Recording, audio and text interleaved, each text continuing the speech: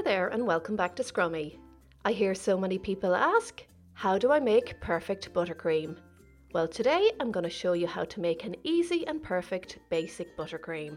This buttercream is soft and fluffy and if you follow my tutorial I will give you helpful hints and tips to make the perfect buttercream. This recipe will make enough buttercream for 12 regular size cupcakes and you'll find the recipe in the description box down below.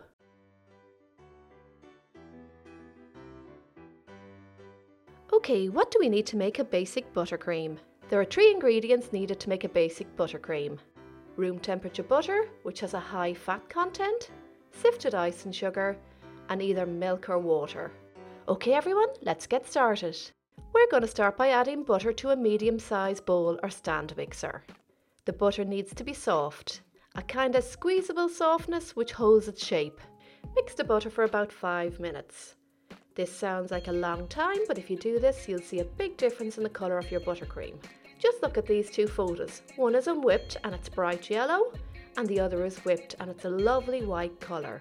As you mix the butter, it doubles in size and loses its yellow colour.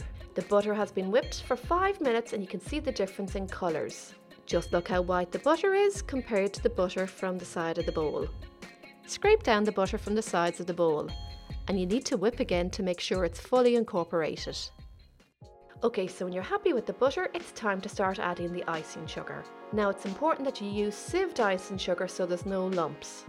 I add about 2 tablespoons and whisk for about 1 minute before adding another 2 and whisking again. Do this until all the icing sugar is mixed in. It's better to add icing sugar in small amounts and whisk it as it will whip much better and get more air into it. At this stage you'll find the buttercream is getting harder to mix and has a thick consistency. You can add 1 to 2 tablespoons of milk or water depending on the consistency you want. If you live in a warm country you won't need to add as much liquid. You can now also add your flavouring. I'm adding vanilla extract. If you're colouring the buttercream you would also add it at this stage and it's important that you just use a gel colour. Whisk on high for about 2 minutes to combine everything. Using a spatula, scrape down the sides of the bowl. Now that's a perfect consistency. It's really pale, almost white, smooth and silky. It's smooth enough that it will spread well and hold its shape when I put it on the cake or pipe it. Now let's decorate. To ice I'm using a piping bag. Use a good quality one as you don't want it to burst. Place the tip against the piping bag to measure where you need to cut. Now you can pop the tip into the piping bag and push it down so it fits perfectly. The tip I'm using is a Wilton 1B, one of my favourites. Other popular tips for decorating are the Wilton 2D and the 1M. I find it easier to fill the piping bag by placing it in a tall glass. And I also use an ice cream scoop to fill it up. If you don't have one of these, just use a big spoon.